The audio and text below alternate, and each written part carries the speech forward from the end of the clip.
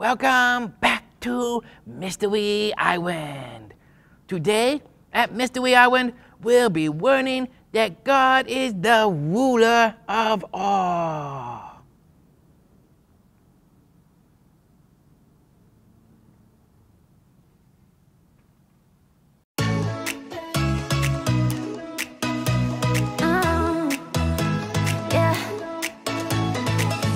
Set the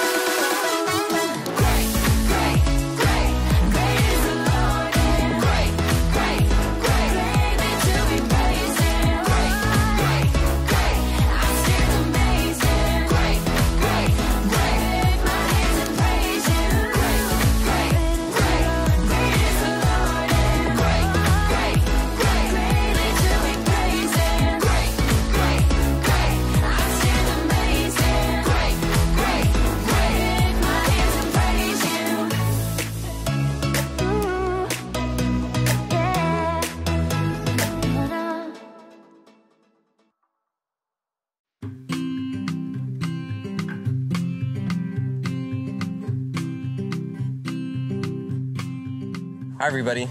It's hard to believe we're already halfway through this week together of searching for who God is. Thankfully, we can keep following these clues the rest of our lives. The clues we find in the Bible have many facets, and every time we read it, we learn more. I am so thankful that the God of the Bible is a God who can be known. Every person on earth has a set of beliefs. Some people think there's no God. Some people believe that there are many gods. Some people make up what they want to believe about God based on their own opinions and feelings. We all know there's only one Eiffel Tower in Paris. It's true, it's, it's a fact. What if you went to see the Eiffel Tower for yourself?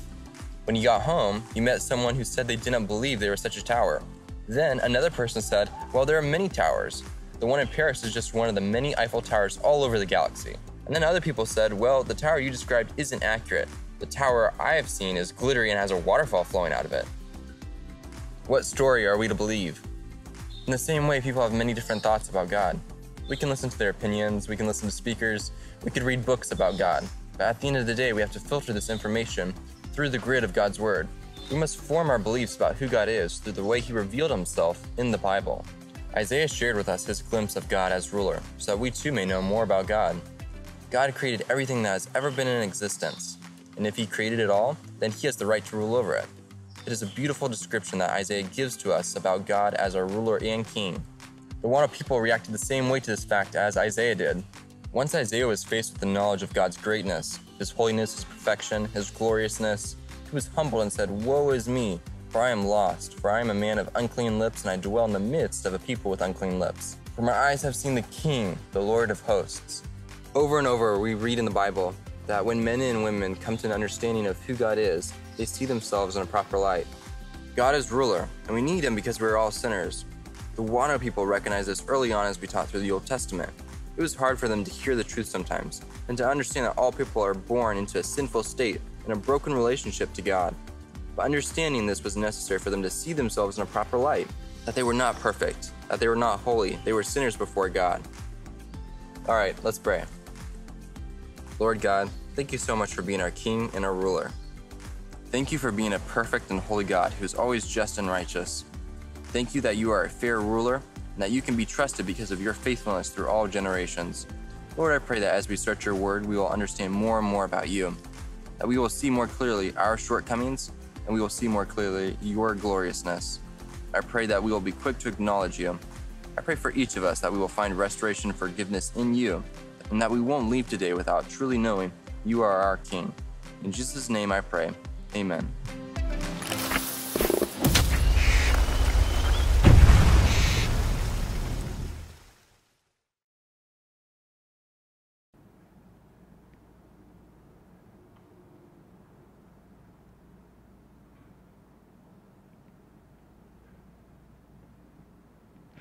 Welcome back to Lighthouse Lessons, Islanders.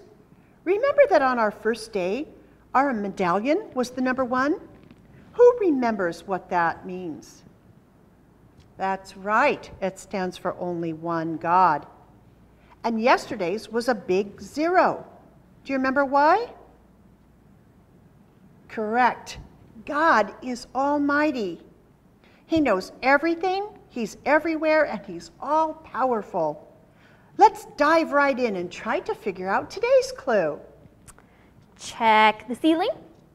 Check the floor. Now it's time to check a door. Hmm.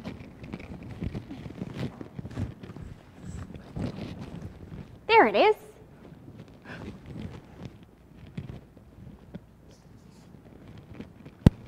All right, Islanders, in this bag we have pictures that can fall into one of three categories. You at home are going to help us out by telling us what category each picture falls into. The categories are animals, people, or nature. Ready? Let's see our first picture. Where do, what do you think that belongs to? That's right, nature. Good job. Our second photo. People, yes. Next we have,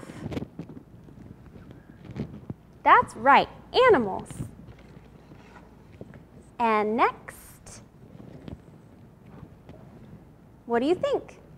Right, animals again. It's exciting. And the next one, that's right, people. What do you think? Nature, good job. And I think this is our last one. God the Father. Hmm, which category does God the Father fit into? People, animals, or nature? That's right, it doesn't fit into any of those categories because God the Father is in a category all his own.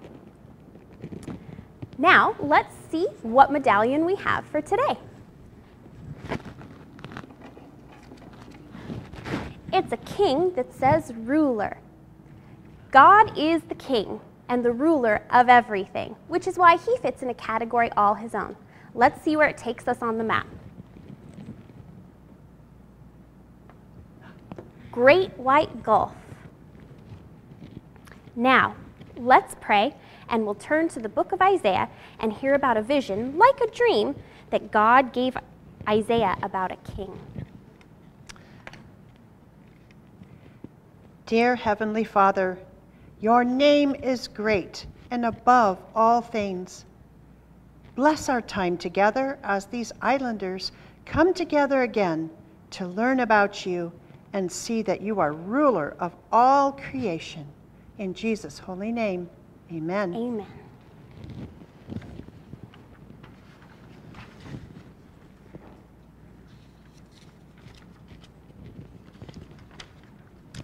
Just a minute, boys and girls.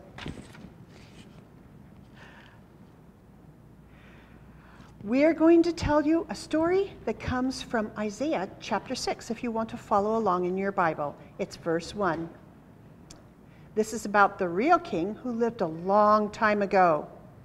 Let's read our first rhyme to learn his name and figure out the missing word. King Uzziah died. God is alive. So, who was King Uzziah? He was a famous king of God's chosen people. He had ruled the people well for 52 years. You know, human kings all die, don't they? It doesn't matter how famous they are, they still die. If they're good kings who rule well, they die. If they're wicked kings um, who, who rule wickedly, they die. Every human king's reign eventually ends. But God doesn't die. He is eternal. He is always king of everything. On to space two. Let's read the words together and try to figure out the missing word. Look heavenward, throne of the right Lord. So, in the vision Isaiah was given by God, he looked heavenward. And guess what he saw? Yes, a throne, but not just any throne. Rulers sit on thrones, don't they? For instance, here are some pictures of kings' thrones. But God's throne was super special. It was the greatest throne ever, and it was high and lifted up. The next thing Isa- Isaiah saw will blow you away. Let's say our third rhyme and try to figure out the missing word. Temple with robe could fill the globe. Yeah. This is incredible because years ago, a king's robe showed how important he was. The longer the robe, the more important the king. Here are some pictures of king's robes. How long was God's robe? Yes, it filled the whole temple. Imagine if a king were here in this building with a robe on and it filled the entire building, not just the front part or down the stairs, but over the entire thing. This shows that God is important in a different way than anyone else. He's a ruler in a category all his own. His robe could have filled the whole globe if he wanted it to. He is God. He is great, and he can do whatever he wants. He doesn't answer to anyone. A big word that means God is in charge and is the ruler of everything is sovereign. Do you see a smaller word at the end of sovereign? Yes, reign. Countries that have kings as their leaders sometimes call them sovereign because they reign or rule over that country. But God is sovereign to none or like none other. He reigns over everyone and everything. And the good news is, he's not just a powerful king, he's good. Can you imagine if he was powerful but mean? Or good but not powerful? Hmm. Thankfully, he is perfect in power and perfect in goodness. Let's see if we can figure out the missing word in the next rhyme as we say it together. Seraphim flies covered their eyes. You may be saying to yourself, What are seraphim? Good question. Seraphim are a type of angel. They are only mentioned here, nowhere else in the Bible. Of course, nobody on earth but Isaiah really knows what they looked like, but we'll use our imaginations based on the description in the Bible, realizing that they would have been much more majestic and incredible than our imagination could ever show us. On to the next thing. So far, Isaiah has been seeing some amazing things. Now he's going to hear something amazing. Let's read our rhyme and try to put in the missing word. Holy was heard. Super important. Word, exactly. The word holy doesn't mean full of holes. What do you think it means? Right, it means to be set apart, God is set apart. He's not like anyone else. He's pure and perfect, never doing or thinking anything wrong. There's not one bad thing in God. It's impossible for him to think even one bad thought. He's always good and perfect, and He's the source of every single good thing ever to happen. Every good thing you've ever experienced a mouthful of food, a good night's sleep, a warm bed every person who loves you is from God. This is the only time in the Bible an attribute of God is repeated three times in a row. This repetition shows it's important for us to understand that God is holy, holy, holy. Of course, we can never be perfectly holy like God, not even close. But God does want us to live pure lives that reflect Him well. We can only do this if we are children of God because we need Him to help us. We can't become truly holy on our own. We're on to our last rhyme now. Let's say it together and figure out the missing word. Tell your story about God's glory. Yes. First, we learned about the word holy. Now, here's another big word glory. What do you think that means? Yep, the glory of God shows how great and mighty He is. The whole earth shouts out the greatness and fame of God. That doesn't mean it's actually shouting out, but that God's amazingness is on display. The waterfall shows us his powerful glory. The sunrise shows us his beautiful glory. The birds singing in the trees show us his creative glory. This says the whole earth is full of his glory. This means every single thing God has created shows us how amazing God is in some way. For example, have you ever looked up in the sky at night and been amazed to see all the stars? Or have you ever stood by the ocean, so huge and beautiful? The ocean shows God's glory. Or have you watched an amazing little critter, or marveled at an animal at the zoo, or watched a snowflake fall, or thought about how amazing it is that Jesus came to earth? Even you were created to bring God's glory. In fact, that's the whole point, point of why we're alive. He made you to bring him glory and enjoy him forever. I think Sonny wants to chime in about this. Don't you think so? Mm-hmm. So let's call him. Remember, boys, we'll say one, two, three. Here we go, boys and girls. One, two, three. Sunny! Oh, hi. Wait a minute now. You're not Surfer Sunny, and you're not Super Sunny. Who are you? Oh, I'm Sweet Sunny. And guess what?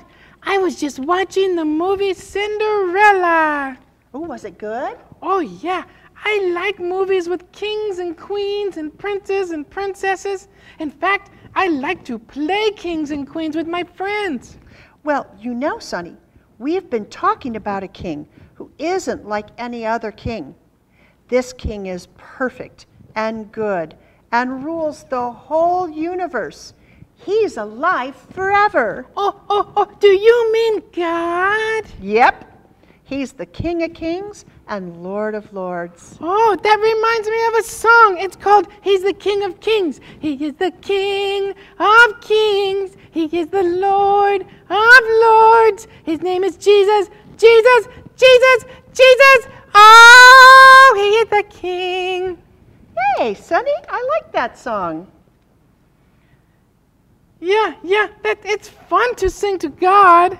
It sure is. Singing praises is a great way to show how great and wonderful and loving our God is. Oh, yeah, I'm going to try to sing to God every day. Oh, how about this one? I love bananas. I love pineapples. I love apples and ice cream and cherry pie. Uh, well, that's a fun song, Sonny, but it doesn't have anything to do with God. You may want to sing songs about God to God. And besides singing, another way to show how much we honor and worship Him is to praise Him as we pray to Him. Oh, what does praise mean? It's a kind of bragging about God. It's telling him how amazing he is. We can do this when we pray to him. Oh, wh- how do we pray to God? Well, we just talk to him. We can't see him, but he's listening. Oh, cool beans. God! God, I think you're an amazing ruler and king. Did he hear that? Uh, yeah, he sure did. But you don't have to shout up to heaven. Just talk in your normal voice, and he'll hear you. You can even think praises to God. He knows what you're thinking.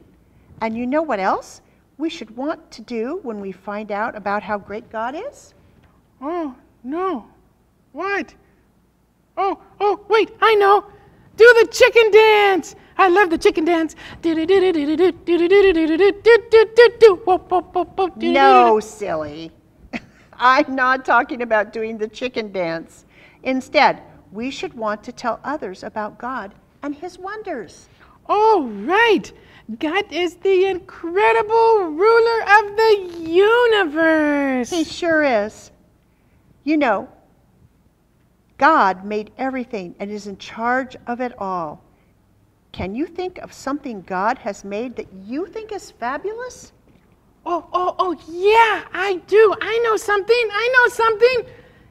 Earwax. You know that gooey yellow stuff that's in your ears? Oh, I think that's fabulous. Sonny, be serious. Oh, I am being serious. Did you know earwax protects your ears from getting bad germs and water in them? God was really smart to create that. I think it's wonderful. Well, I guess you have a point there. And and how about eyelashes? They help to protect your eyes from getting things like sand and dust in them. Okay, I think we hear what you're saying, Sonny. God made those things and so much more. We can talk to other people about our amazing God and never run out of great things to say to Him. Oh, that's for sure. I think I'm going to go tell my mom how amazing God is to have created earwax. okay, Sonny, go for it. And we'll plan to see you tomorrow. Islanders, let's say goodbye to Sonny, okay? One, two, three. Bye, Bye, Sonny. bye bye, Islanders.